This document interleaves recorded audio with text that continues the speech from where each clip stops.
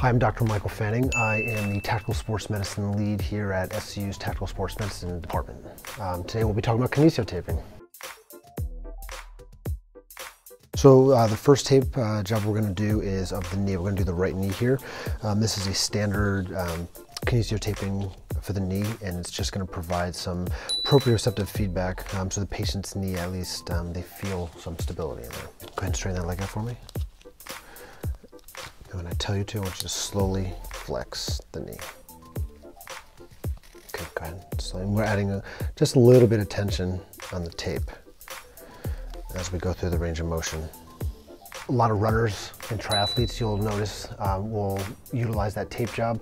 Um, usually they have, you know, a little patellofemoral pain syndrome or what's called jumper's knee, and they like that compression um, and added just a smidget of uh, stability uh, that can be helpful to help, you know, get them through the game and get them through that little bit of pain that they're currently with. And pressure okay? Mm -hmm. And I lost it.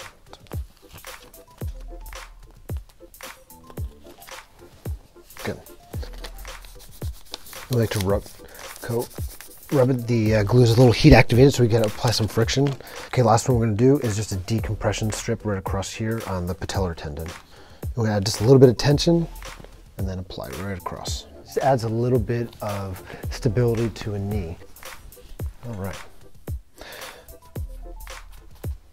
Good. How's that feel?